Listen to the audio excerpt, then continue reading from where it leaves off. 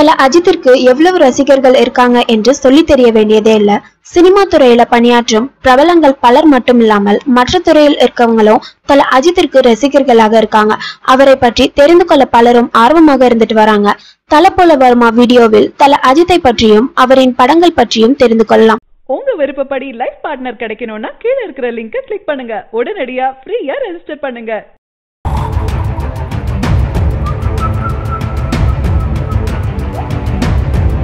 சொன்னது போல திரௌபதி படத்துல நடந்திருக்கு இயக்குனர். திரௌபதி படம் ரிலீஸ் ஆகி நல்ல வரவேற்பை பெற்றுள்ளது. தமிழகம் முழுக்க பேசு பொருளாக்கி இருக்கிறது திரௌபதி திரைப்படம். தயாரிப்பாளர் என யாரும் இல்லாமல் கிரவுண்ட் பண்டிங் முறையில் படம் தயாரிக்கப்பட்டிருக்கிறது. இந்த படத்தை வண்ணாரப்பேட்டை படத்தை இயக்கிய இயக்குனர் மோகன்ஜி இயக்கியிருக்கிறார். ஜூபின் இசையமைத்திருக்கிறார். இப்படத்தில் ரிச்சர்ட் ராஷி ஷீலா கருணாஸ் இளங்கோ ஸ்ரீநாத் கோபி உள்ளிட்டோர் பலர் நடித்துள்ளனர். இரு சமூகங்களையும் நாடக காதல் உட்பட சாதிய பிரச்சனைகளை மையப்படுத்தி இந்த படம் உருவாக்கப்பட்டிருக்கிறது. வில்லன்கள் திரௌபதி மற்றும் அவரின் தங்கையை கொலை செய்து அந்த படியை பிரபாகரன் மீது போடுகிறார்கள். பிரபாகரன் தான் ஆவண கொலை செய்து விட்டார் என்று போலீசார் அவரை கைது செய்து சிறையில் அடைக்கிறது. ஜாமீனில் வெளியே வரும் பிரபாகரன் சென்னைக்கு சென்று அங்கு டீ விற்பவர் போன்று நடித்து பதிவாளர் அலுவலகத்தை நோட்டமிட்டு இரண்டு பேரை கொலை செய்கிறார். ஜாமீனில் வந்த பிரபாகரன் யார் யாரை எதற்காக கொலை செய்கிறார் என்பதே கதை. முதல் பாதி பரபரப்பாக செல்கிறது. திரைக்கதையை பரிச்சயமாக உள்ளது. என்றாலும் பிரபாகரன் வாழ்க்கை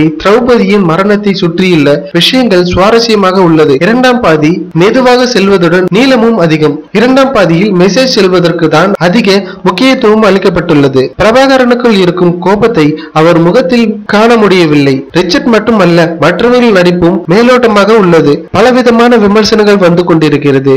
இது குறித்து அப்படத்தின் இயக்குனர் மோகன்ஜி சமீபத்தில் ஒரு பேட்டியில் கூறுகையில் அதிகமான டென்ஷன் என்னவென்றால் கிரவுட் பண்டிங் இந்த படத்தில் தொடரும் என தப்பட்டப்படுத்தி விட்டோம். நட்சத்திரங்களின் படங்களுக்கு இடையே கூடிய எதிர்பார்ப்பு இப்படத்திற்கு இருந்தது. ஆனால் இப்படத்திற்கு நாங்கள் விளம்பரம் படுத்திக் கொள்ள வேண்டிய செலவு உண்மையில் ஒரு லட்சம் கூட தாண்டாது. இதுவரை நாங்கள் பத்திரிகையாளரை சந்திக்கவே இல்லை. எங்கேயும் செலவு செய்தது இல்லை. சமூக வலைதளங்களில் இருக்கக்கூடிய எங்கள் பக்கங்கள் சில தகவல்களை பகிர்ந்து கொண்டோம். நான் அஜித் ரசிகராக இருப்பதற்கு இன்னொரு காரணமும் இருக்கிறது. ஒரு நல்ல படம் அது தன்னைத்தானே மக்களிடம் கொண்டு பேசி எடுத்துக் கொள்ளும் என அவர் சொல்லி இருக்கிறார் அதை நான் நிறைய சமூக வலைதளங்கள்ல பகிர்ந்துள்ளேன். அது எனக்கு நடக்கிறது என்கிற போது அந்த மனிதன் எவ்வளவு பெரிய உண்மையை சொல்லி இருக்கிறார் என்பது புரிகிறது.